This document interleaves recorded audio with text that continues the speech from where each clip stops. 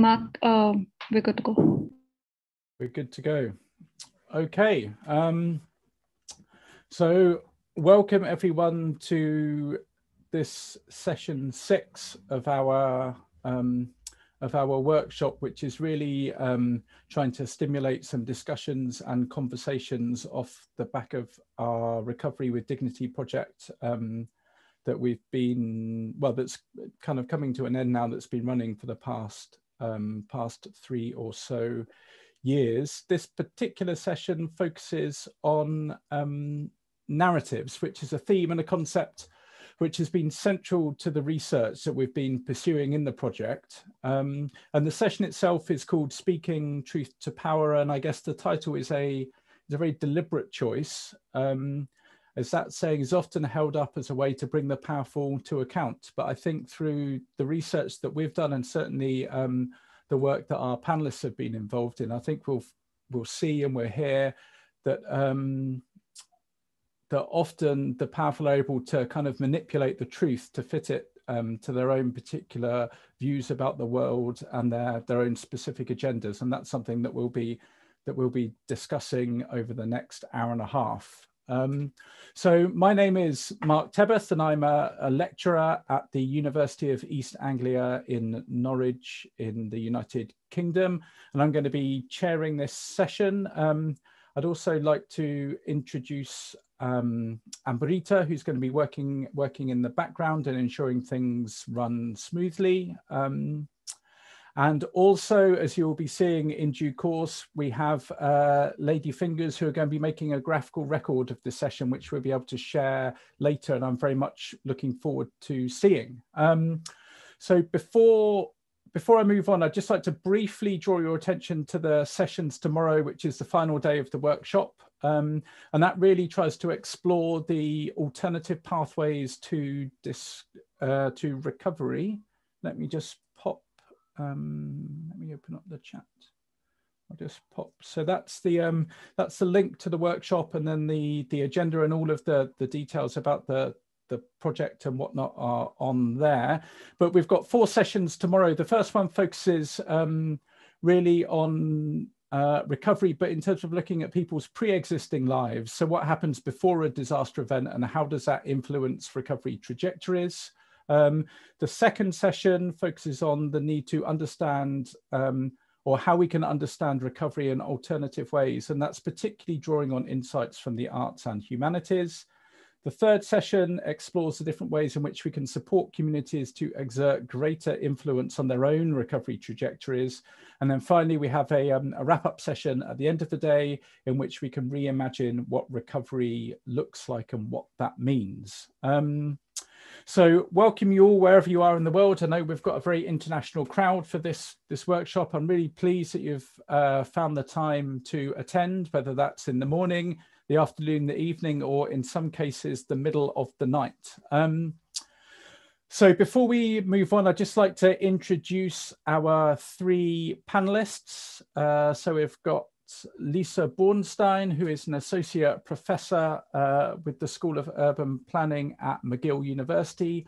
Her areas of research include international planning, economic development, environmental policy and planning, institutions and governments, as well as international aid in South Africa, regional planning in Mozambique, and metropolitan planning reform in South Africa. So really kind of uh, a huge range of um, expertise and experience to draw upon. So welcome, Lisa. Very pleased, um, very pleased to have you on the panel. Um, we also have uh, Malini, and Malini is a faculty at Asim University, and her research interests revolve around issues of religious identity, ethnicity, and political conflict, and the intersections emerging between um, religion and development. She started her career at the International Federation of the Red Cross and Red Crescent Societies and subsequently worked in a conflict resolution firm where she was involved in conducting research on the Kandhamal riots of 2008 in Odisha between Hindus and Christians. Um, And then finally, we have uh, Sibi Arasu. Uh, Sibi is an independent journalist who writes on environment, science, and climate change. Um, he's the recipient of several awards in environmental journalism, including Red Ink Awards 2019, a special mention in the environment category, the Asian Environmental Journalism Awards in 2019, and the Prem Bhatia Environmental Journalism Awards in 2018 as well as the All India Environmental Journalism Awards in 2014. So uh, a very well decorated journalist. Um, so welcome, welcome to you all, and you know my sincere gratitude for your um, for your presence. And I'm very much looking forward to um, hearing your insights and you know really getting your thoughts and opinions on on some of the issues that we're going to be discussing. So, uh, in terms of the, I, I, guess the the panel itself, then we're going to, as I've said, be focusing on um, narratives, and that's particularly in the context of uh, recovery from disaster events. And we all know that they are um, recovery is a highly unequal process, which is shaped by different social, political, cultural, and economic structures, often frame the capacities of affected people and the external support they receive. The recovery space, as Roger Few described yesterday when he was opening this workshop, is contested and political. Yet the recovery space is also an elongated and crucial phase for sustainable human development, and it has really deep and ongoing implications, especially for those simultaneously vulnerable to other crises, threats, and inequities.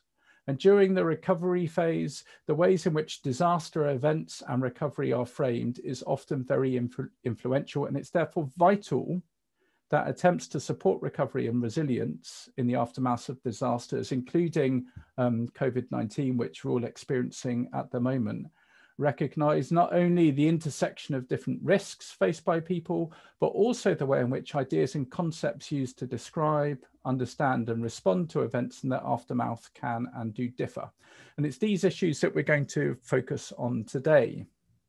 Um, so I think just before we start, um, I think uh, I'm not sure if you're able to, but uh, please can I ask you to keep your your audio on mute. Um, and then I'm really hoping to stimulate some questions, and these can be posed at any time in the chat um, or in the, the Q&A box. So please make sure when you're posting your question that you address it to the panelists and attendees, if that's an option, so everybody can see it. And I really hope um, in terms of the session itself, we're going to have about, um, I don't know, about 50 minutes uh, of uh, discussion with the panelists, and then a good chunk of time, 20 to 25 minutes, where we're hoping to get some really good questions from the kind of the virtual floor, if you like. Um, so uh, don't hold back with the questions, just keep them flooding in as we go, and then we'll kind of uh, try to respond to as many as possible um,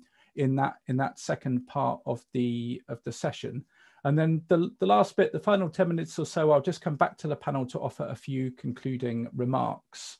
So that's kind of it for the for how the session is going to run. Um, so now I think now if you like to the to the to the questions themselves. So just to, I guess provide an introduction uh, really to the to the general ways in which um, the media and other actors frame events and processes following disasters and, and what this really means for recovery. So how a disaster event itself is viewed and represented determines how different actors, whether that's um, national or international agencies, for example, can respond to it. And recovery, as I've said, is not a neutral term. It's political and it's contested. And this must be acknowledged with different actors possessing different visions of what recovery looks like and the best way to go about achieving it. In this contested space, how events and discussed, how events are discussed and portrayed, you know, is really very important. Um, for instance, disasters and responses are often conceived around a view of disasters as a single event, a rupture from the norm, rather than understanding places as locations of multiple disasters.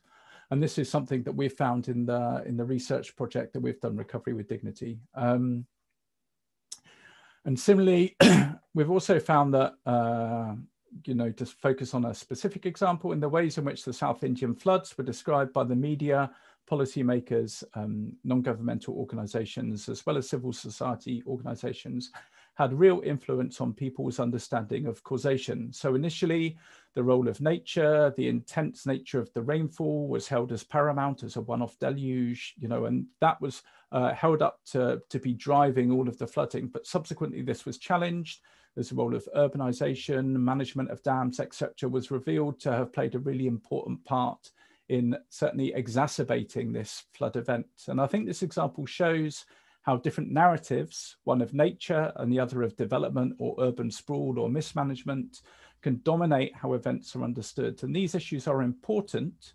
because the attribution of understanding causation can then subsequently influence de decisions about the sorts of recovery interventions that are needed. Um, so my first question to the panel, after that slightly long-winded introduction, um, is how and in what ways do you see actors trying to shape understanding of disasters? And I guess with a particular focus on the impacts this can have for recovery processes. And I guess relatedly, which actors are influential in this space and are there any significant difference in the way these actors tend to frame and understand events? And I think I'll come to Malini first, if I may. Over to you, Malini. Thank you so much, Mark, for that wonderful introduction. And thank you for inviting me here. Uh, I've had the privilege of being associated with the project for a while now, not very actively though, but I've had the privilege of meeting you when you were in Bangalore. Uh, I think that was before the pandemic hit us. Um, I've been receiving periodic reading up about the project quite eagerly because a lot of it resonates quite directly with my own uh, PhD work, uh, which was also about disaster recovery and reconstruction, uh, incidentally. Uh, for today's panel, uh, I, I don't know if much of what I'm going to say is going to directly uh, answer what you have just raised right now, but I'm hoping it is of some relevance to the larger themes that you have raised right now, right? So and I'm going to uh, be speaking specifically on the role of media uh, and how I think it impacts and why I think it's so important uh, to acknowledge the media as a very important stakeholder in disaster recovery, right? Uh, uh, and Sibi is, of course, here. I haven't had the chance to meet him, and I'm not a journalist myself, but uh, I'll be very happy to hear what he has to say. But so this is largely from you know, a researcher's perspective, and apologies in advance if I am completely off the mark, Sibi. Uh, uh, before getting into the meat of what I have to say, I, uh, I, I want to invoke philosophy because that's what primarily interests me around uh, social sciences. Uh, I think philosophy has the answers to uh, so many topical things that we write and speak about. Uh, and my one of my favorite philosophers, John Locke, happens to have said something interesting about everything important under the sun, right? So it's not like John Locke begins with the conversation uh, conversation around representationalism, but I think it's a very powerful idea to invoke, uh, particularly in a panel that's acknowledging media, right? So representationalism is an idea which many of you, I'm sure, are already familiar with, which uh, basically argues that uh, the perception that we have of the world around us, right, is, is not real. Uh, it's uh, basically a miniature uh, version of what actually exists out there, right? And John Locke was one of those philosophers who builds on this and has contributed enormously to this discourse. I don't want to get into the details here, but what strikes me as being so fascinating about this concept is that it's so relevant, right, when one is discussing the media today particularly with regard to how disasters are covered or how disasters are framed. Uh, in a pandemic like uh, COVID 19, uh, you know, the only way of perhaps knowing what's going on in the world is through the lens of the media, right? And I'm going to come to social media in a bit. And I've said this in the past that no matter uh, uh, uh, how diverse media has become today, the fact remains that the first morning newspaper headline, right? The newspaper that I sit with when I'm sipping my cup of tea or coffee, uh, is often the most important uh, source of information that I rely on to get a sense of what's going on around me, right? With, with regard to disasters in particular, things that are obviously extraordinary, I'm sure a lot of people sitting here would, would not be happy with my usage of the term extraordinary, but they are definitely out of the normal, right? These are things that happen to catch our attention, and there is there's an obvious interest around news that covers uh, uh, disasters. Uh, why do I think media is so very important in in this particular uh, process of framing disasters? is because I feel like the media uh, is perhaps the first actor that's involved in discourse setting, right? Uh, uh, questions about how big is the disaster or how small is it? How what is the scale like? How spectacular is it? Who is impacted the most? Who are the most vulnerable? Who are not so vulnerable right? Who should be held accountable and who should not be held accountable? Uh, uh, questions regarding causation that mark just pointed to pointed us towards right whether these are acts of God or whether these are acts, whether disasters are an outcome of the failure of, of a particular state or a government. Uh, these are very early on, uh, these frames uh, help set the discourse very early on, right? Much before the process of relief and recovery or reconstruction even set in, right? So during the course of my own PhD work, I was primarily interested in looking at the role of a cultural group uh, called the Rashtriya Swayamsevak Sangh, which is a very political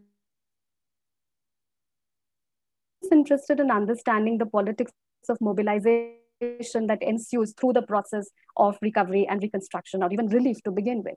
But what I found very interesting when I actually dived into the fieldwork is that this whole process of meaning making, the process of, polit- of politicization, actually begins much before the relief or the reconstruction period, right? It actually begins with how the media starts framing and citing different sources. Is it citing politicians who have a certain explanation about the disaster?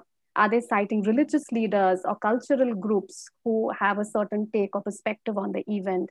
Are they citing human rights activists there, right? So that in many ways, that, that very initial discourse setting has a tremendous influence on you know the amount of funds that could pos- that would potentially be raised uh, the ways in which the more developed world uh, uh, is, is, is likely to respond to an event like that happening in perhaps a developing country. Uh, the ways in which perhaps uh, uh, you know processes of reconstruction and recovery are likely to be shaped as questions as basic as you know, what kind of houses uh, need to be rebuilt once the reconstruction process begin?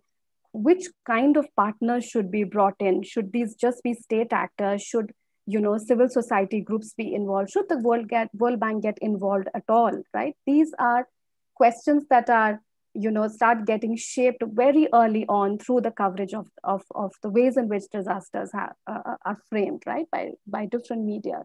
Uh, now thank god for small mercies that today we have something called social media right? And you have twitter and you have facebook and covid-19 of course is a you know perfect example of at least as far as india is concerned where the government has been reporting in a certain way and and you know underreporting is a better term to hear here you know speak of here.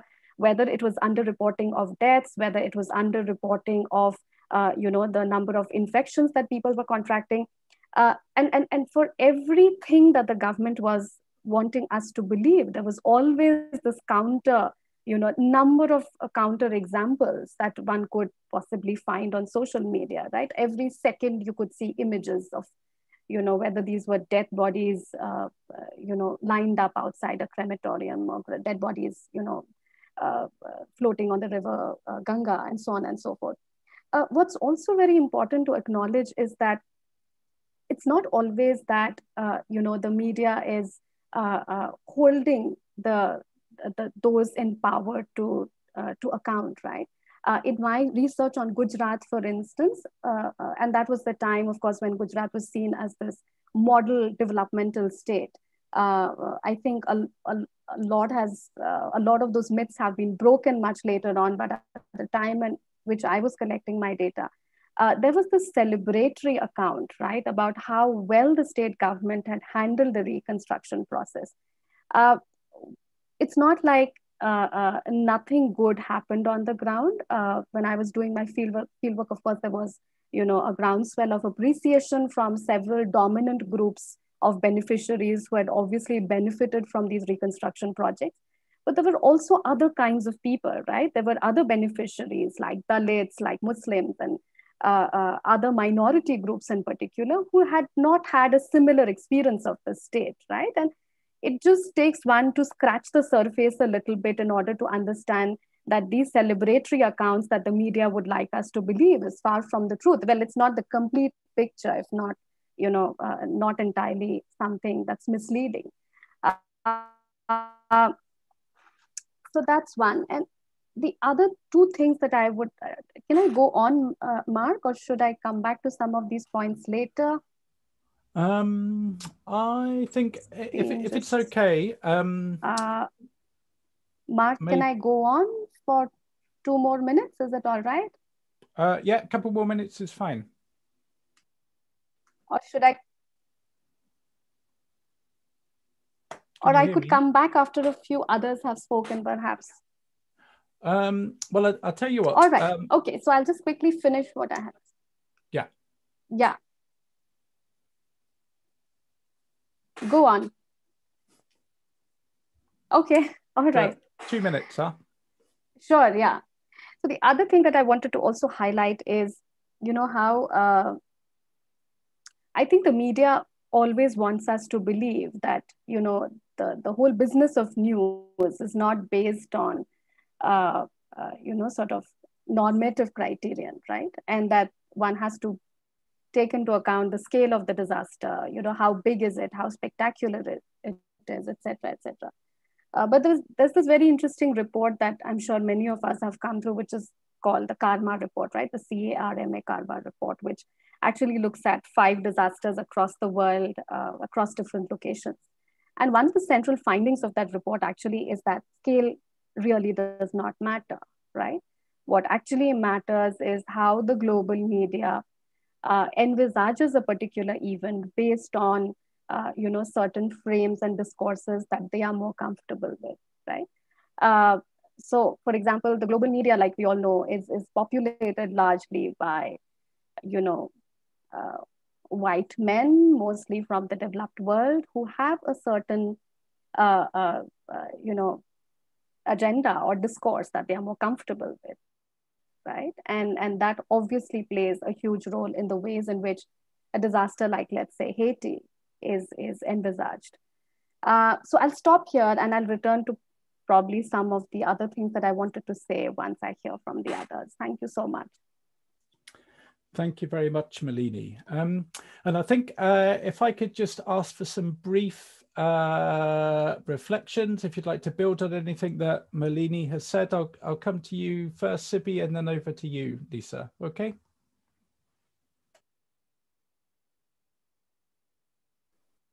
Hi, thanks for having me here, and uh, it's uh, lovely to be part of this session, which with so many researchers and experts in this field. It's going to be a great learning experience for me for sure uh, it was lovely to hear what Malini was talking about and uh, you know her experience through her work. Uh, the, just a few quick points. Yeah, I largely agree with how she is uh, she framed the conversation. Just something that I thought, uh, as somebody who's uh, I'm surely not at the center of the media industry, but as somebody who has been part of this industry here in India for like more than a decade now and experience how things work in both mainstream newsrooms as well as an independent journalist, which is what I am now. I can definitely say that uh, one thing when it comes to shaping understanding, and uh, many of the things I say now, uh, even though they're pertinent to disasters, they're not limited to it. It's to shape any understanding of any issue, really, I feel. Is uh, there's no one overarching, you know, media perspective anymore at all. Whether it was ever there, I'm not sure. Like I find that uh, among the people I have worked with, among the gatekeepers, so to speak, that I have personally interacted with in the media, like their agenda is driven by multiple factors, and many a times uh, um, journalism, quote unquote, pure journalism, and the need to expose information to the public or to carry forward information is not really their primary concern. Like whenever it comes to any major event, like you know, there are certain agendas that any media organization, be it the most independent or be it the largest corporate behemoth, they seem to have. And these agendas are what drives their news coverage. The, the day after the disaster, or the large events, news might be similar across the board. But if you notice, even by the afternoon or even by the next day, the third day, the coverage of that particular event changes drastically depending on which media you follow or which echo chamber you are part of that is uh, something that I've noticed in my experiences as, as, a journalist as well as a consumer of media.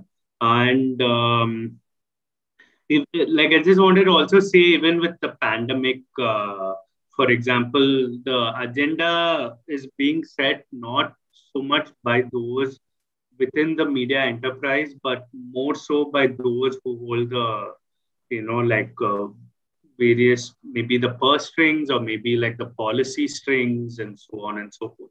They play a extremely key role in setting the agenda as to how things are covered. So yeah that is another thing i wanted to highlight. Thanks. Super. Thanks um thanks very much sibi. And uh, over to you lisa okay um, well thank you very much uh, for allowing me to participate. I'm sure I will learn a, a tremendous amount, and I'm uh, very appreciative of my co panelists who are much more knowledgeable about media, media representations than I am, since uh, most of my focus in my work is on narratives and representations that are advanced by the state or by uh, uh, international organizations and the counter narratives um, that are emerging from local residents, ordinary people. Um, so, so that it, media may be implicated, but it has never been a, a, central, well, barely been a central focus of the work that I've done. So, just a couple responses and additions. Um, when I look at questions of representation, discursive analysis, attention to language, part of my concern is about how those framings of the world allow certain certain dynamics and relationships and aspects of people or the world and the environment to surface and come it's, it's as if the light is focused on them the same way as we're we're having ourselves spotlighted here. So they become very very visible tangible and other dynamics and people and conditions and environments become less or almost invisible. And this kind of dynamic of how we frame things and how those who are powerful like actors within the state and especially states that are have people who are trying to consolidate power or gain more power um, get translated and transmitted in the form of um, institutions, laws, norms, rules of the game. And so these representational and discursive debates and narrative debates have very, very material outcomes. And it's, it's one of the reasons why they're so important and why how the state or media frames these can have long term implications. And um, please don't take this as a critique, Malini, but this is, this is one example of how we might illustrate this is in terms of the idea of a disaster. So the idea that media or the state will focus on the sensational, the exceptional event, the one in which there are a number of deaths, uh, loss of lives that can be quantified and counted and reported, uh, the damage in economic terms. Why is that considered a disaster? but the kinds of structural violence that people suffer from and encounter on a daily basis that is the outcome of all sorts of historical inequalities. Why is that not a disaster worthy of coverage or of framing as a disaster? And yet, that is the way in which representational dynamics work. That word and that language has been framed to mean certain things, and others have been excluded. And so um, I find it really, really interesting what we don't look at ourselves, what we, and we need to because we need to communicate. So we need to have norms about what things mean and what's in focus and what's not. But one of the challenges in trying to look at counter narratives or to question the dominance and the role of narratives is to to to to be reflective about it and be critical about it and and so so that's one set of points the other point is that yes we can look at representational and discursive um, dynamics in general but disasters are really interesting uh, disaster events are moments in which um, we might find that uh, governance failures come into in, into focus. The dam collapses that was sanctioned and supported by and built by whomever, and you know blame should be apportioned. But just as often, and this is a point I think you were making, Mark, is that in the struggles to consolidate power, disasters are fodder. They're, they're, they're a moment in which, which the rules of the game can be def- redefined and in which um, the discursive becomes one of those realms in which those struggles occur. And um, so, my suspicion is that what's happening in the media or what's happening with the people who are most affected is maybe as important as, maybe much less important than the kind of behind, behind the scenes struggles over power that are taking place in a political realm.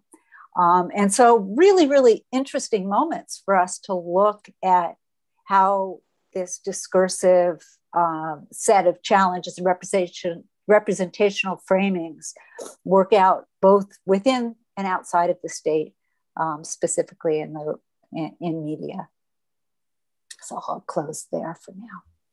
Super. Thanks. Um, thanks all very much. And I think, um, you know, I, I think what uh, looking at these representational aspects does, it almost provides a window through which we can look at these often occluded, uh, occluded issues related to power, which remain, which remain hidden. And I think you've all alluded to that uh, in one way or another. And I think one thing just uh, just to pick up upon, I think in uh, Lisa, when you were talking about um, why say certain things become a disaster, um, one of my colleagues at UEA is constantly tweeting, um, why is it that we have a daily death count for COVID, but we don't say have a daily death count for poverty, for instance? And then, you know, what would what would it look like if we did have uh, every day the media was reporting X number of people were dying through poverty? And I mean, you can apply the same argument, I think, to lots of different um, lots of different issues.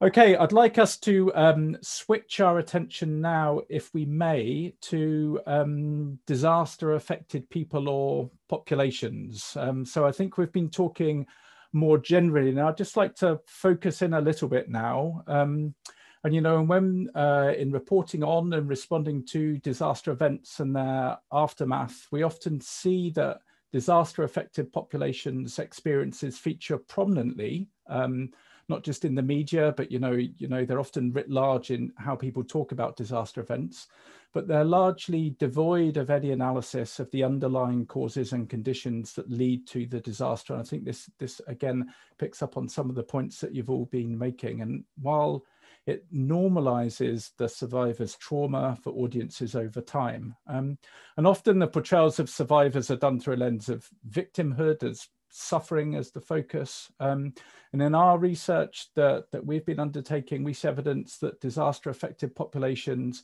are also portrayed as beneficiaries of services, as needy people, and in some cases duplicitous. They're claiming more than they're entitled to.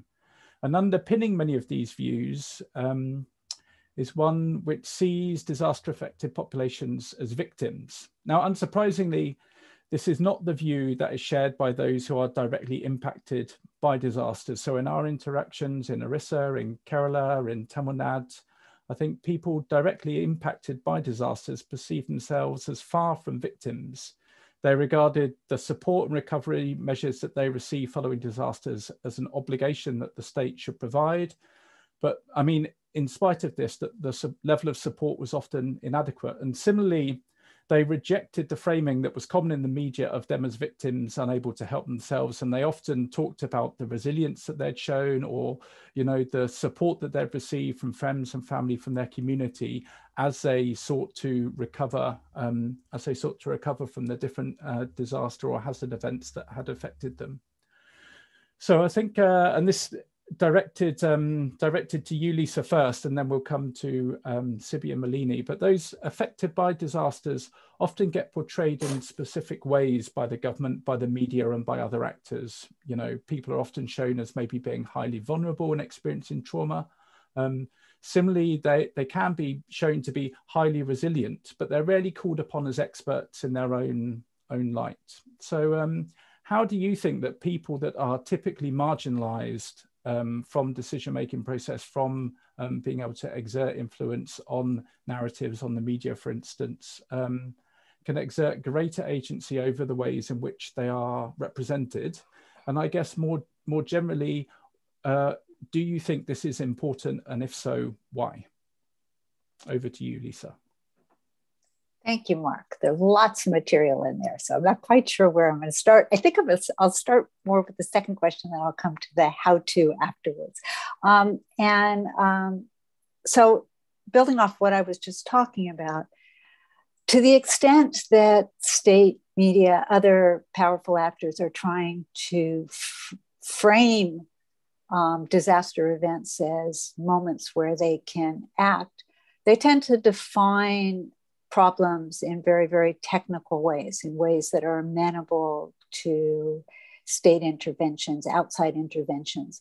Um, and in the process, um, to the extent that they consider uh, local affected people, they are often portrayed in ways that will uh, justify interventions. And that entails, in many cases, drawing on um, existing well known biases, stereotypes, tropes of victimhood, of uh, ignorance, of lawlessness, of uh, uh, venality, of all sorts of negative images that then get reproduced and can justify certain types of interventions. Um, they're not sufficiently risk averse why are they there in the first place? Why won't they move? Um, you know what's going on? And so so that kind of perpetuation of um, highly questionable uh, ways of portraying people is something that occurs. Um, i've been involved in a parallel research project uh, for the last four years in Latin America and the Caribbean. And we've been working with local partners, universities, NGOs, community leaders, and residents um, it, around 22 micro initiatives that deal with climate change adaptation, disaster risk reduction, and um, uh, recovery or development change. Um, and, and so we've really had an opportunity to, to look at how do they define um, all of these different representational uh, uh, representations of, of, these themes of risks and disasters? In are they in parallel to what uh, states and media are portraying or are they different? And just a couple quick examples. Um, so cuba coastal area um, people are being asked by the government, more than asked, to relocate because it's an area that is uh, subject to more intense storms, sea level rise is affecting it, there's periodic flooding.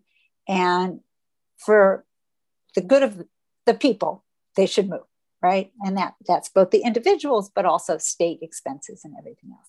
Um, and uh, local people say, well, wait a second, you know what? What? It's not. It's not the sea that hurts me. That's my livelihood. People hurt me. And so they immediately bring in questions of justice, relationships as a central focus. Um, for them, questions, and this is in Cuba, questions of, of, of climate change adaptation, risk reduction are intimately linked to questions of environmental, economic, and social justice. Their understanding of risk is of what happens tomorrow in terms of food, medication, shoes for my kids to go to school. Um, their risks are if I relocate, will I have a livelihood? Will I still have connections to the social relations that give my life meaning? Will I have connections to the places that have meaning for me?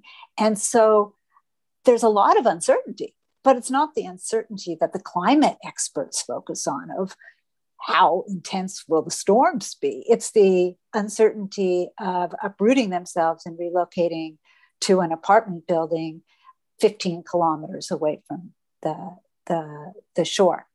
Um, so, you know, just using the same example, um, there are avenues for change. Um, so, in our work, um, and, and I've got multiple examples, what we found is that when we tapped in and when local groups tapped into culturally relevant activities, and that could be a local festival, it could be playing soccer, it could be pottery, it could be dance, um, things that had meaning and could link them into the initiatives around climate change awareness, risk reduction, recovery, then it had more meaning to people. And it also provided opportunities for new types of social relations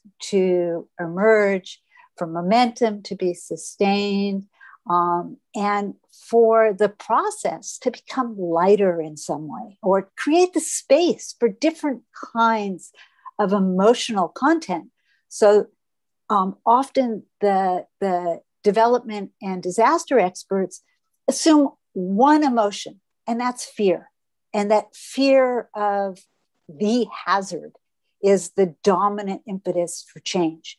But what people from, from these different areas were revealing, and what our, our partners revealed, is that all sorts of emotional and affective aspects of life are implicated. And that means joys and friendships and fears and hopes and um, all sorts of things. And that creating space for those was really, really important and validating and almost bringing an emotional lens to what we were doing was really important, whether that was around dealing with psychosocial traumas and, and healing processes, but also just other kinds. I mean, play is important laughter is important. And so creating a space for that was something that was crucial.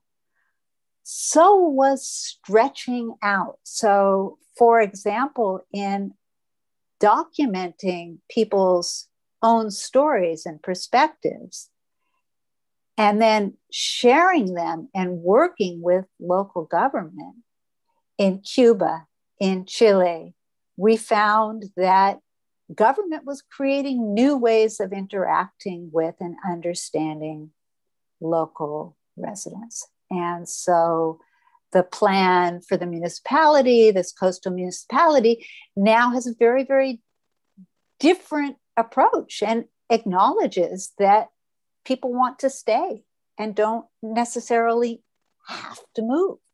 Um, in Chile, around a pottery workshop, design, I should also say, design was often a way of, of focusing joint activities and providing something that wasn't just about the interpersonal, but another object that, that could provide a less problematic um, template for learning how to work together and understand each other.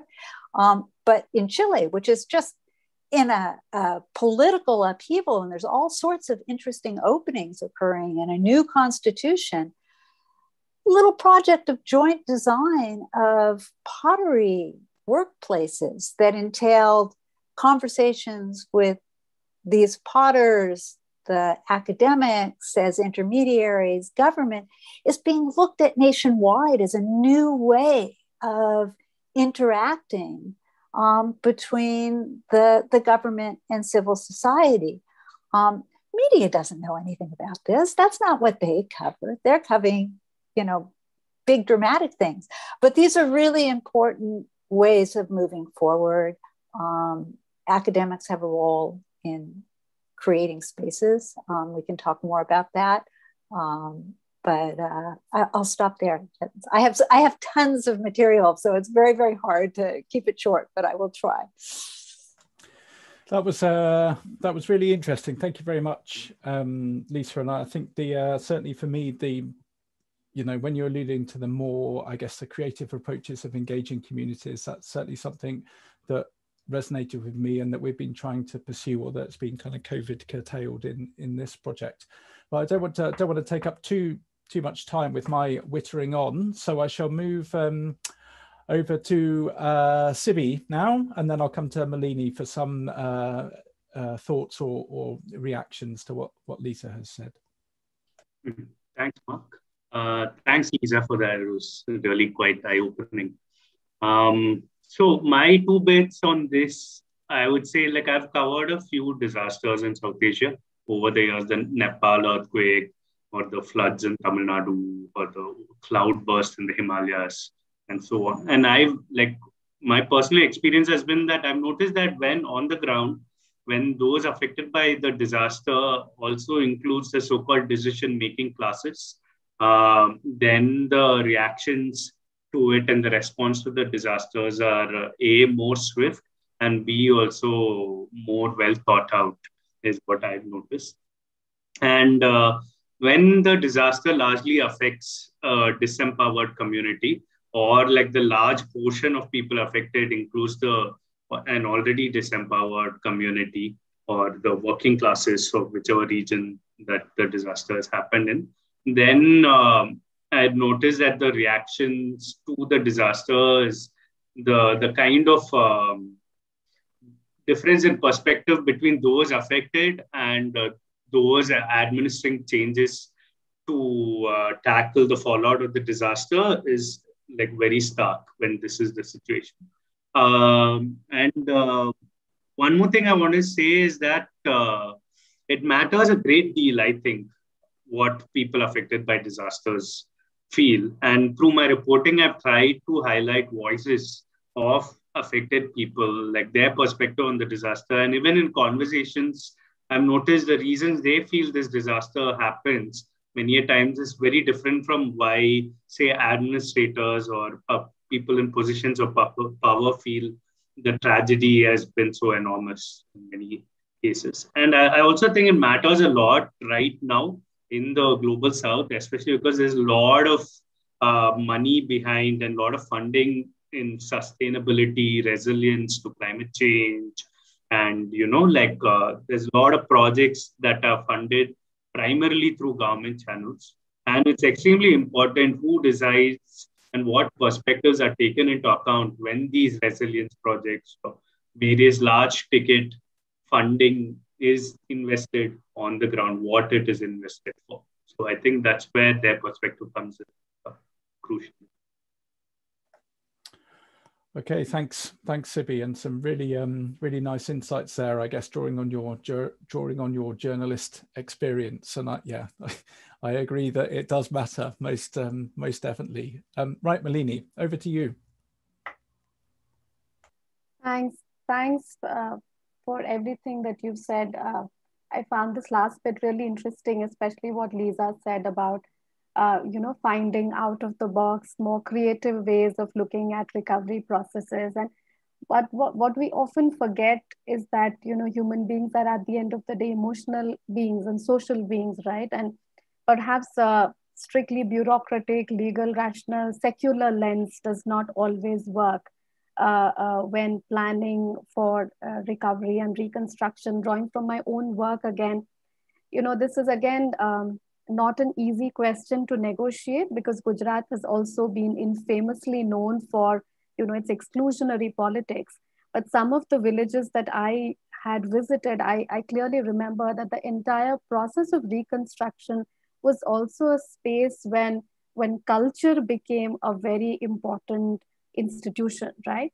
Uh, so a lot of people who were the direct beneficiaries of of these reconstruction projects you know, claimed that the entire process was cathartic because for the first time in their village, uh, they had been able to construct a goshala, which is a cowshed, right? Now, that obviously has Hindu nationalist overtones. And I realized the problem of, you know, advocating for something like that uh, without applying the, without sort of declaring the obvious uh, problems associated with a position like that. But I would at the same time I, I would still like to stick out my neck and argue for why I think cultural groups and religious groups in particular, in particularly in contexts like South Asia, I think have a very interesting role to play uh, because they clearly stand outside of that legal, rational, bureaucratic trajectory that state governments often use, right? And and that often does not work. Uh, so probably the the challenge is to find a way to negotiate these uh, the role of these stakeholders without the vocabulary becoming too exclusionary. Uh, but at the same time, finding space to accommodate some of these things. Because, like I said, disasters often become sites for, uh, you know, very deeply emotional reflections, right? Uh, you know, something as basic as organizing prayer meetings, for instance, uh, memorializing the disaster by, you know, just sitting in a temple premise or maybe outside a mosque together, uh, you know, can also be a very important part in in through in the process of recovery. So yeah, I'll stop there. Super. Thank thank you very much, um, Malini. And I think, um, I mean, you know, in referencing cultural groups, I think one of the things that we found um, within the project is that the, if you like, the cultural infrastructure that, and I don't mean hard infrastructure um, uh, necessarily, that exists within a community that can be disrupted um, during a disaster is something which is often neglected by state agencies. So I think trying to just bring in this perspective to at least get that recognized and to support recovery initiatives which seek to kind of rebuild um, the, the cultural things which communities value, I think is very, very important. So yeah, a well made point there. Um, and I think it's moving on now to that, um, I guess, the provision of recovery that I'd like to, um, to turn our attention to now. And I think this is, um, you know, this is something that uh, Sibi highlighted just now and when he was talking about um, when the decision-making classes are affected by disaster, then the recovery provision tends to happen maybe a bit more, bit more quickly, and it's something that, that Lisa Malini, you've also alluded to. Um, but what uh, I guess what I'd like to, by kind of the framing, if if you like, is that we need to recognise that um, disasters affect people unequally, and whether that's based on geography or socio-economy or politics or cultural or other characteristics, and you know that's that's well established. Um, and relief and aid is often also targeted towards those considered to be the most impacted. Um, but to be targeted at those who are most impacted, that requires them to be visible. And I think often you'll see um, that the less visible people tend to fall between the cracks. And that's not just in terms of immediate relief, but also in relation to longer term recovery processes. Um, but you know, knowing well that poor development is deeply intertwined with risk causing factors and that the most vulnerable of these affected populations are also implicitly um, becoming often the least desirable targets for recovery agents or risk reduction pra practitioners. um, creates problems. So who gets aid or post-disaster recovery support is often ascertained by who is seen as good, you know, a passive and grateful recipient of aid, or bad, and those who maybe don't conform to notions of what a victim should be or what a victim looks like. And these categories are often observed by, you know, and determined through historical relationship, through structural inequities, um, through the way that power falls within societies. And in the period, you know, following the tsunami or following Gaja, certain groups were identified as being primarily affected, so whether that's fishers or farmers, whereas other groups were a lot less visible. So, for instance, landless labourers. So these, um, you know, this really impacts this kind of understanding of who's impacted and who isn't, who needs support and who doesn't. Um, you know, is influenced, yes, by the disaster, by the hazard, but also has very strong structural um, structural precedent, if you like. And I'd just like the, the panel to reflect on the extent to which the media and other actors are complicit in perpetuating the certain ways of seeing and knowing a disaster event and people, and how this matters, and I guess how this also could be disrupted, and in what ways could the, the media, for instance, or, or other actors um, reporting on periods following disasters be improved um, to try and ensure that there's better recognition um, of some of the, the inadequacies or of the need to improve recovery provision measures. And I'll come, uh, I'll come to you first, Sibi, and then uh, Malini. I'll come to you, and then then to Lisa. Yeah, thanks. Um, so I, I thought it'll make more sense again to draw on my experience as a journalist because that might be a perspective that might benefit everyone here. So I think like, it's interesting to mention the Gaja cyclone because you know that is one region which has been repeatedly affected by disasters, and there are communities there who have been completely ignored when relief measures like you're saying, landless laborers as well as indigenous communities which are found only in that region who have been completely ignored. Um, coming to the larger question, I think the media, even though I'm a part of the larger media landscape, I think definitely we are we are quite complicit in you know like the, what is going on and most media houses blame the government whenever there's a disaster but uh, there is little follow-up work in fact uh, when i was working with the iihs earlier this year uh, there have, we had prepared a handbook for reporting on climate change along with the word lab and uh, some of my colleagues have also looked at a few uh, coverage of disasters in a few Indian newspapers and media websites. And they also found that media coverage is really lacking when it comes to disasters. There's no nuance really. And um, as a journalist who's been covering climate change and environment uh, over the last years, at least now, it is only recently, I'd say, in the last three or four years, that I've found space in the mainstream media for these issues. For example, like uh, uh, you know, uh, mainstream media organizations are hiring environment reporters as a beat, while earlier it will just be a additional task for whoever's covering the science beats, and the and the primary and the the more celebrity beats used to be crime, politics, and uh, earlier this coverage was also only around when say a COP happens or a big disaster happens, and the news cycle would probably last for a week or two. And uh, it would literally disappear out of uh, not only the front pages but any kind of coverage on the issue would just abruptly stop multiple times. And uh, if i'm not mistaken various analysis of media coverage of climate change in india especially has proved the same there have been studies which are done i'm sure you guys are familiar with where there's peaks in coverage during cops or disasters and then there's nothing and uh, I think there's a big issue in understanding the causality of disasters among journalists and editors. And uh, there's also a big problem with how environmental issues are understood by editors. I have personally faced editors where I've proposed, or I know of colleagues who propose stories on, say, coastal regulation zones uh, to you know manage construction along India's coastlines or environmental impact assessments to say uh, report on these things are considered by many editors even today as being anti-development, quote unquote.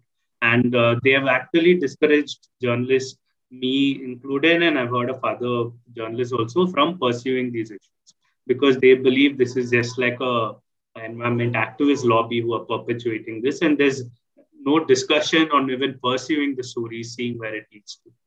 Uh, this is still, I'm, I'm, sure, the dominant perspective, like I said, among many editors.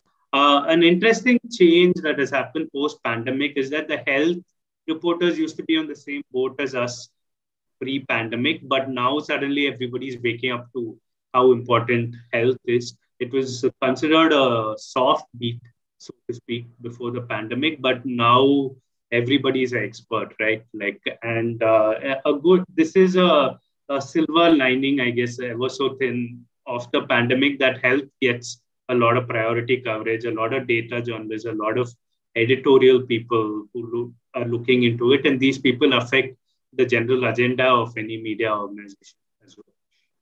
And uh, I also think disasters and their fallout are sensationalized, especially in TV and broadcast media. But there's little prolonged coverage of the long-term long-term fallout of disasters, let alone slow onset disasters like water crisis so on. Those receive next to no attention.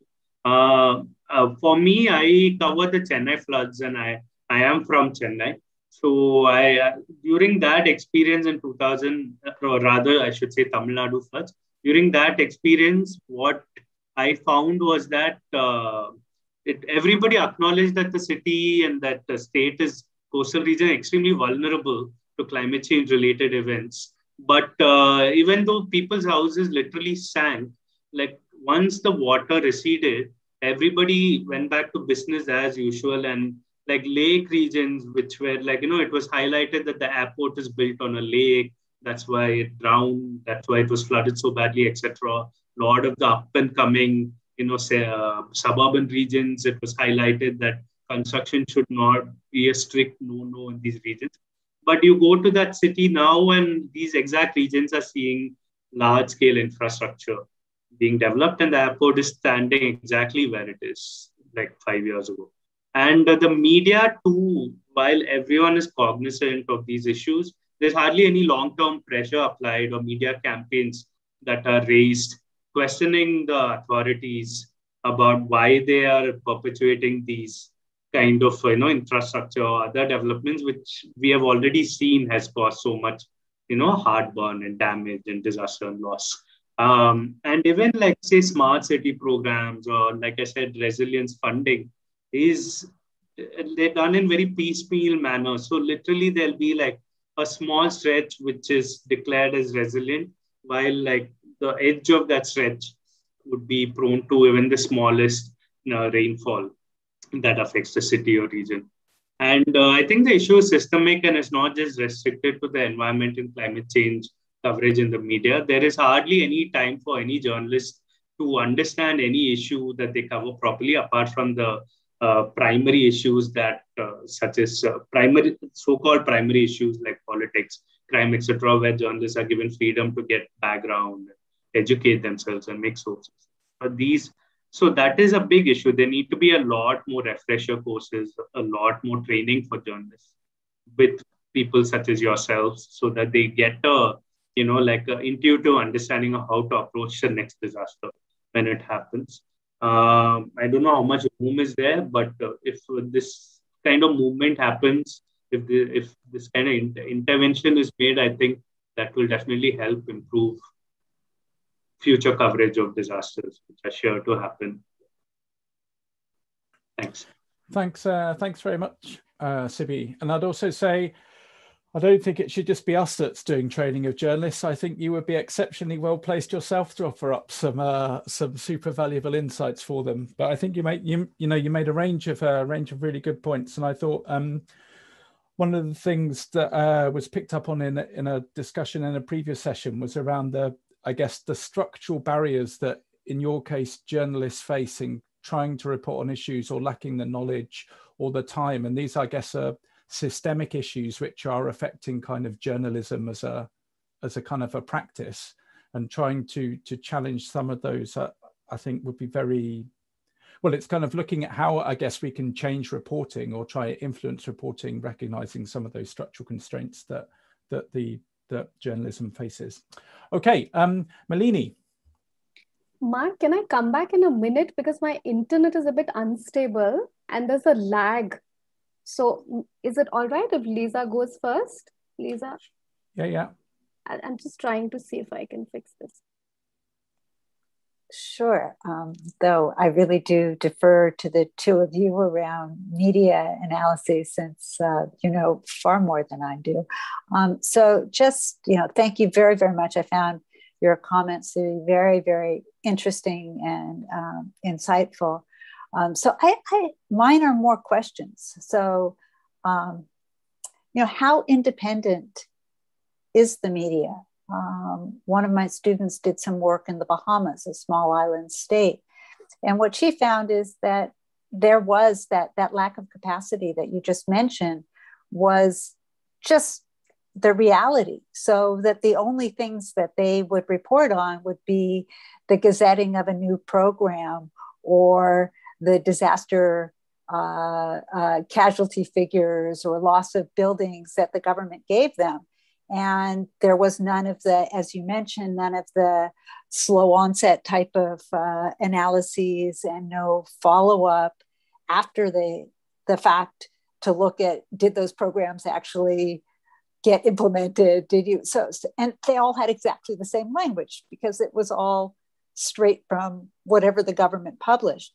Um, and and so so one question is just about about how independent, how much does that vary from place to place? What's the culture of journalism and the resources available for independent um, and independent research and on the ground reporting in different parts of the world?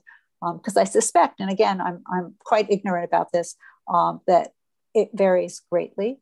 Um, the second part is well, who's stepping into the void? So, Malini, I'm very curious. You mentioned that you could talk a little bit about social media, but um, I mean, it, it, I think we've been seeing over the last decade the rise of all sorts of disinformation, outright falsehoods, um, uh, avid believers in different ways of framing reality that are being fostered uh, either intentionally or less so through social media networks and through the sort of analytics and and uh, uh, ways in which social media operates and keeps its audiences and spreads it.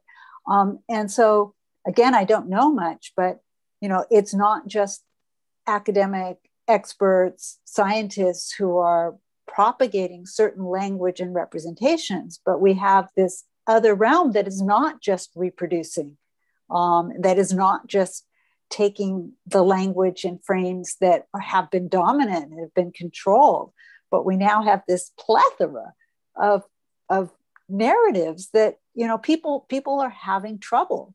Um, yes, we're speaking speaking something to power, but does it resemble anything like truth? I have no idea. So, Malini, I hope you're you're able to to to contribute now because uh, I don't have any answers. Lots of questions.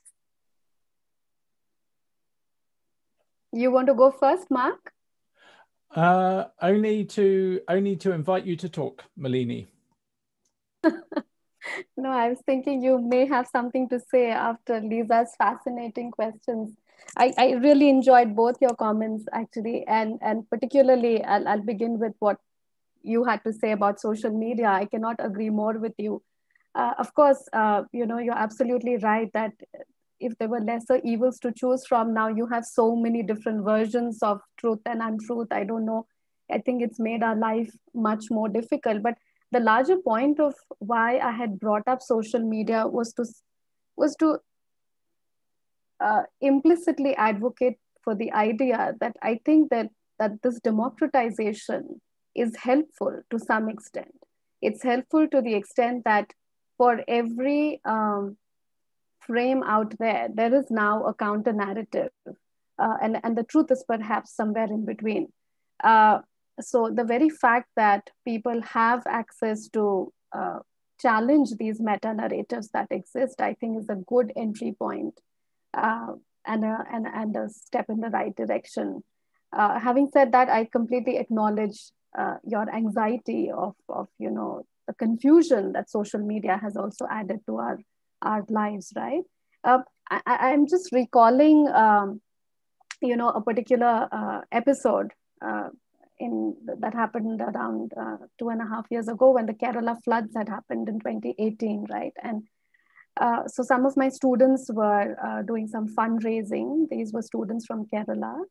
And uh, the fundraising event actually went quite well. It wasn't an event even, but with a series of sort of collection drives and it went quite well. And I remember uh, four or five students coming up to me who were from Assam, and because I I was born and raised there, they perhaps felt like they could confide to me, and they came and said, "While we are happy about the fundraising drive, you know what we are really disappointed with is that you know we have similar you know scale of floods every year in Assam, right? But none of this gets reported in the media, and um, I had to tell them, well, the cruel truth is that floods happen in Assam every year. It's repetitive and it's obviously boring for the media, right? But what you can do as, as you know, concerned citizens is to write and to talk about it. I think there's a way in which we give too much agency to the media. I think with the birth of the internet, not just social media, you know, there's so much that one can do, you know, whether it's just coming up with one's own blog or you know, I don't know, just posting on discussion forum, uh, on a dis- on a multiplicity of discussion fora for that matter. You know, uh, I think the onus is very much on us, uh, scholars, uh, concerned citizens, journalists like Sibi. I mean, uh, I don't think there are any gatekeepers out there in the internet who, who prohibit us from giving them our version of the truth. Uh, and I sincerely believe that as academics, as people who would like to advance the debate around disaster recovery, there is a need to go to those places where the camera hasn't gone so far, right? And even looking at disasters from new perspectives, from new lenses, instead of just, you know, taking things for granted. Uh, when I decided to, you know, pick on two disasters that I wanted to study for my PhD, uh, you know, the choice was driven largely by, you know, scale, right? The scale of destruction, the scale of death. But like Lisa rightly pointed out, you know, I mean, I, I don't even know now, looking back in hindsight, if that was the right decision to do. I mean, so what if people are not dying?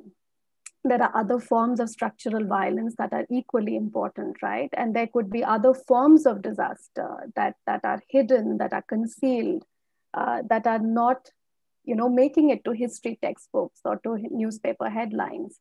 Uh, I think there is a need for us to, you know, go there uh, uh, and, you know, sort of unravel some of these uh, uh, stories that have not been told so far.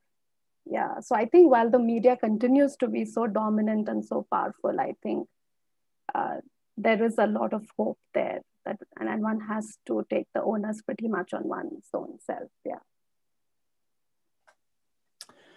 That was uh, that was wonderful. Thank you very much, Malini. And I, yeah, uh, it's nice. Um, I was thinking actually when you were, I guess, putting the onus uh, more on all of us to to get out there and and kind of try and take a bit more ownership of things. I was thinking that's just, um, you know, that's often what we what we advocate in relation to to other to other groups, to other people. Um, so I think it's nice to have that light shone shone back on us to uh, to get us to to work a bit harder or do a bit more or to to try and uh, tackle some of the issues in a in a more I guess engaged and practical way.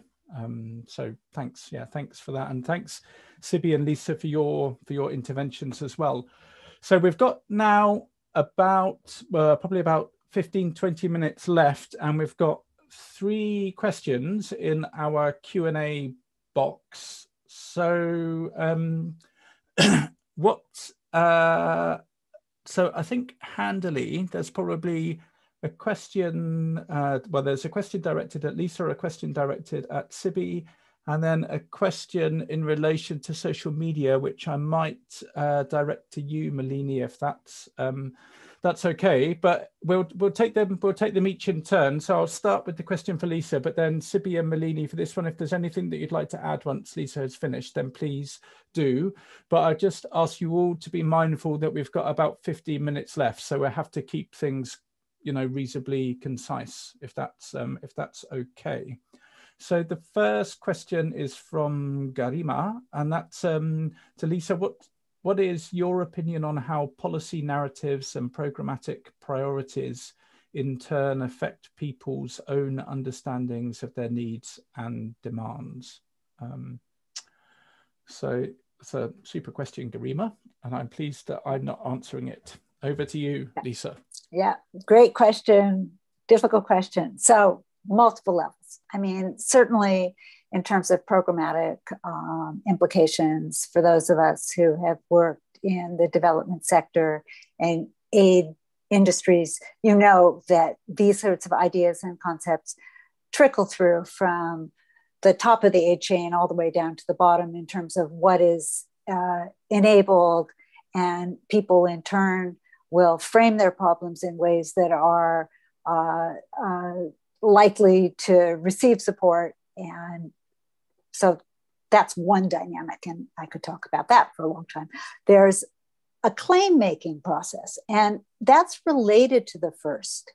And so I think that sometimes, with as researchers, we or as reporters, we may take what people say at face value, but we have to be really cautious about that. I don't know what just up our her drawings um, because we have to recognize that people are making claims, are telling stories about the realities that they see, but they're also advancing certain claims to resources, to knowledge, to history, to uh, uh, ways of seeing the world.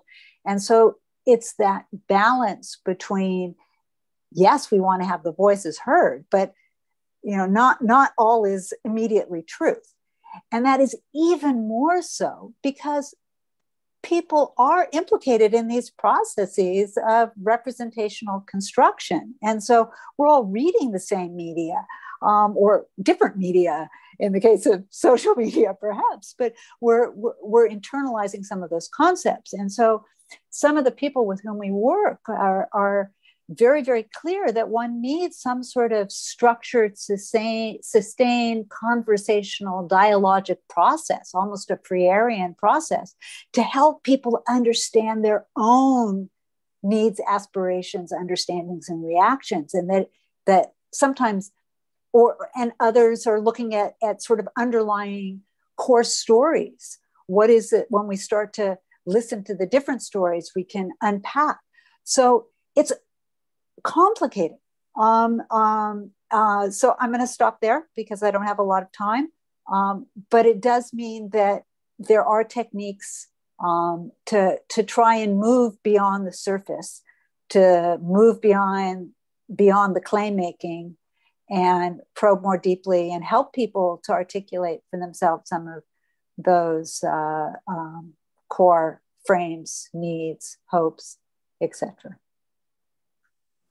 That's uh, that's super. Thanks very much, Lisa. Um, Sibi, Malini, is there anything that you'd like to add at this point? No, I think I'm good. Thanks. Malini is possibly just uh, struggling with her internet. So I think um, I'll come to the uh, I'll come to the question. Oh, are you back, Malini? Yes, I'm back. Sorry. That's okay. Was there anything that you just wanted to, to add to the question that Lisa just responded to?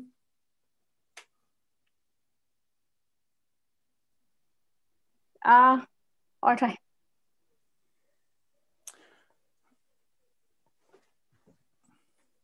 Sure, of course. Um, I was, there was a lag when Lisa was speaking, so I'm just going to take the question. It says, What is your opinion on how policy narratives in turn affect people's own understanding? I think there is a huge uh, impact that these narratives have on people's own sense of their needs and demands for sure, because uh, I think for a large section of people impacted by disasters, I think they often do not find the vocabulary to even express what's going on or what is most needed, right? To the extent that they start internalizing a lot of these frames that are thrown out by the media, right? So I think, which is why, and which is why I mentioned right at the onset of the discussion about how I think media plays such an important role in discourse building, right? And this discourse is not just for people in just not just for the aid givers, but, but, but for beneficiaries as well, because there's a way in which you start imagining yourself to be uh, what these narratives are projecting you to be, right? Uh, the more vulnerable than the others. Uh, so just to give you a quick example, and I'll stop. So my father, who's been a victim of the South Asian partition, for instance, right? You know, draws on some of these tropes that exist out there you know, about vulnerability, about who was at fault, who was more vulnerable. And over the years, I've seen him internalizing these tropes to the extent that he actually feels that, you know, of all the people, of, of all the other victims who suffered, his suffering was obviously more, right? So it's just one example to demonstrate perhaps how narratives have such an important psychological uh, effect on beneficiaries. Super. Thank you. Um, thank you very much, Malini. And I think, yeah, I think that process by which people often internalize the uh, the discourse that, that's moving around is uh, is a point well made.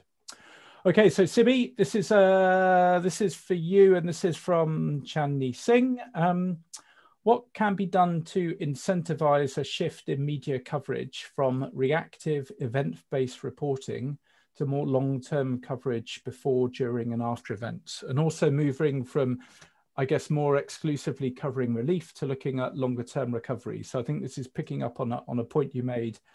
I think midway through uh, was just about the, I guess, the the tendency that the media have to to focus on certain elements of a disaster rather than taking that longer-term view. Yeah. So um, I think it's not so much a shift that is needed, but also a addition that is the need of the hour. I think uh, you know, like um, event-based reporting is extremely important. Everyone needs to know what is happening in the immediate aftermath. But uh, the problem is that it doesn't continue into you know prolonged reporting, and other aspects are not covered as much as they should. I think there should be encouragement and interventions made which facilitate prolonged uh, coverage of environment, climate change, and other related issues in mainstream media as well as alternative media. And good journalists who are well aware of these issues, who have experience in reporting on these issues, should be present in these organizations or be part of the initiatives so that they and offer the space to do this reporting and uh, also allocate stories to these colleagues to their colleagues and uh, tell the editors how these issues can be linked to other other important uh, agendas that the newspaper media houses pursuing. Uh, these can be like you know like I don't think uh, there should like it needn't be like like one dedicated space every day, but there can be like shows on say broadcast media or columns in digital media or newspapers or even in and uh, you know like other kind of forum where there's a dedicated space essentially for coverage related to these events and about disasters and recovery. And this will this has to be a slow process, but there's definitely a good audience, I think, for this kind of uh, you know media reporting. Also, in the Indian context, I think uh, the regional language media, at least those that I'm familiar with, which is uh, Tamil media primarily, there is like a complete lack of expertise in terms of covering disasters, climate change, environment, etc. So there's a desperate need for talent to be developed so that the regional language media is also better uh, in a better position to cover these issues in the short term or the long term also. I hope this answers the question. Super, that's uh, that's great. Thank you very much, Sibi. And uh, seeing as we are, we're kind of yeah, we don't have that long left. So if um, we've got three three questions to go, so if I just um, pose all three questions, and then I'll come to each of you in turn, and you can pick up on uh, an element of any one of those three questions as you like. Um, so Roger, uh, he was uh, asking around um, this kind of, uh, there's a huge range of narratives that are circulating on social media um, and how they relate to more conventional forms of news media. And is it possibly the case that certain narratives only come to more mainstream attention once they get reported through, I guess, more mainstream newspapers and broadcast media? And then, I guess, relatedly, have you any examples to share of cases where media representations of disaster impact or recovery have been starkly different from how disaster affected people have sought to portray their own needs, aspirations, or priorities? So that's, I guess, a, a linked question there. And then a question from uh, Mohit Yadav, uh, which is directed towards Malini and Lisa. Um, how can how can it be under how can be understood government aiding scheme politics and the reality of getting or reaching aid to affected people in both monetary and logistical terms. Um, so, uh, Lisa, is it all right if I come to you first, and then I'll uh, then I'll I'll come come to Malini and then to to Sibi. Um, uh, yeah, as yeah. Uh, over to you, Lisa. Um, okay. Uh, yeah, these are these are great questions. Um, tough questions. I have lots of cases where dominant meta narratives and representations of disaster and recovery are starkly different from those of disaster affected um, people. And I encourage you to look up the word adapto and Montreal, and you'll get to our Oeuvre Durable webpage where we have all sorts of videos and project documentation. Um, I'll try and put the link in the chat, but I'm not sure I'll be able to. Um, and uh, those are very, very rich in the sense that they allow people to speak for themselves about their aspirations and to focus on the images that were important to them.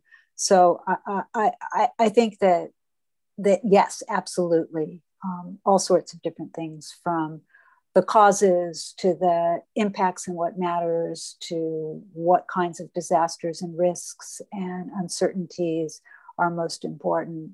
All of those come through, and also to to the importance of. I mean, one thing that we haven't talked about, it. I think, uh, I think Leni referred to it a little bit, is that you know there's all sorts of processes of exclusion and discrimination at the local level that also come into play and so you know one of one of the tensions and, and maybe this will speak to some of of these questions i'm not quite sure um, is we're funded by the idrc uh, a canadian research government institution.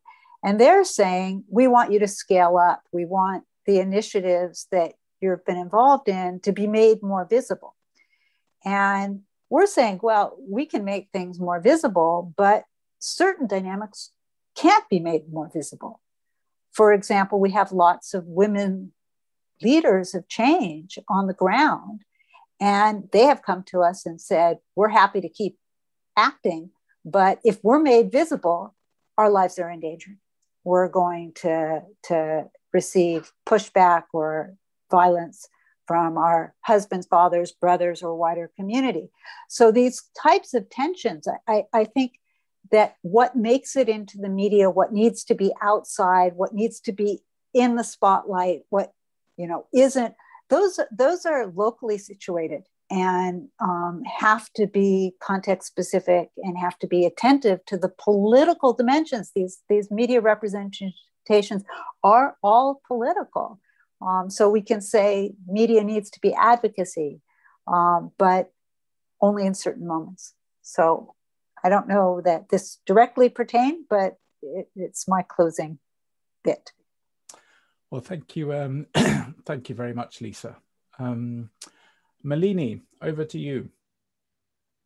Yeah, I, I just want to take a moment to congratulate the team behind this fantastic graffiti.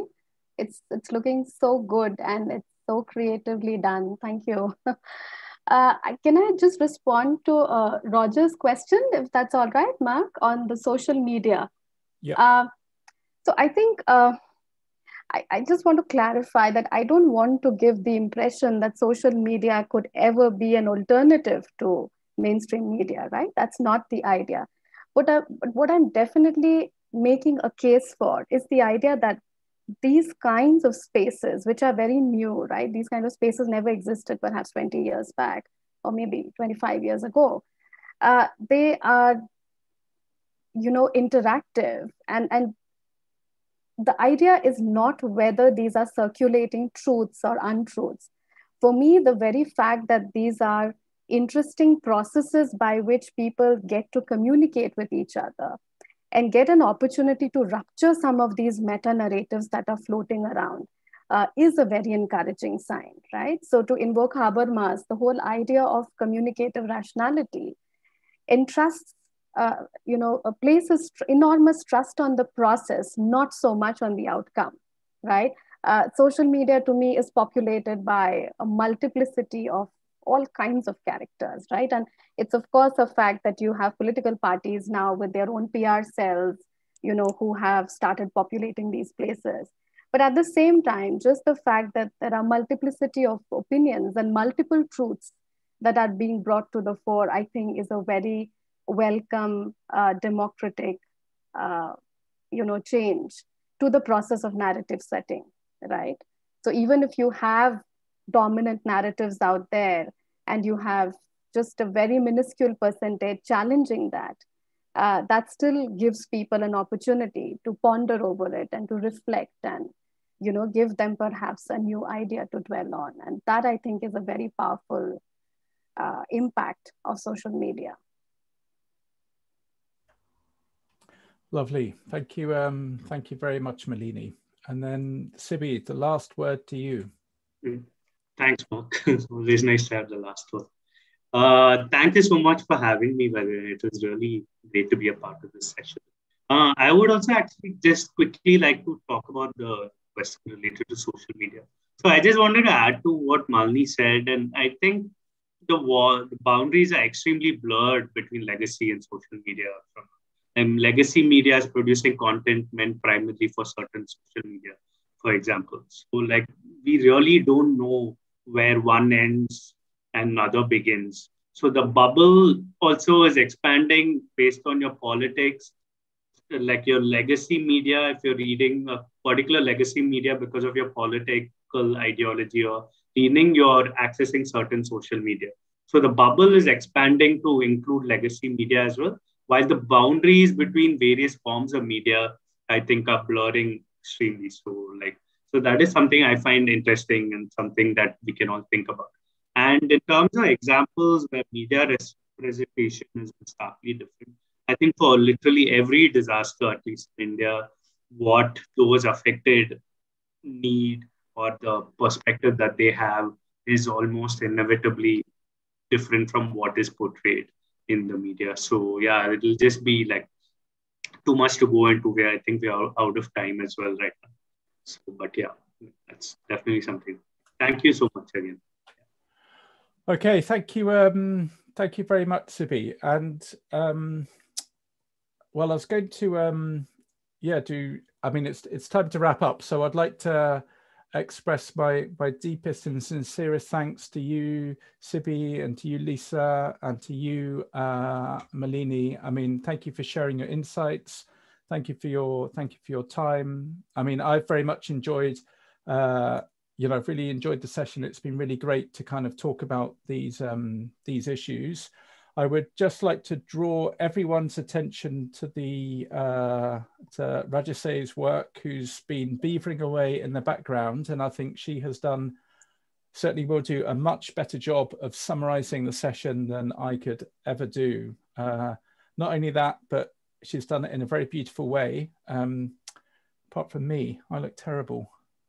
anyway, But anyway, I, I, don't hold that against you, Rajase. I think uh, I think you've done a wonderful job. So thank you, thank you very much. I think it'd be a really lovely record of the um, really lovely record of the of the session. So I think I shall. We're slightly over time, so I'm not going to. I'm not going to prattle on. I'll bring it to a close. But just to um, urge everyone, if you're interested in anything that's been discussed, please feel free to follow up directly with Sibi, Lisa, or Malini. Um, similarly, if there's stuff about the project that you're interested in, then do check out our project website, which also has contact details of everybody that's been involved in the project as well. And we're very happy to take your take your questions or to kind of enter into further discussions with you. So I should just finish by giving you all a clap. Thank you very much. And thank you everyone you, for thank you everyone for listening. Um,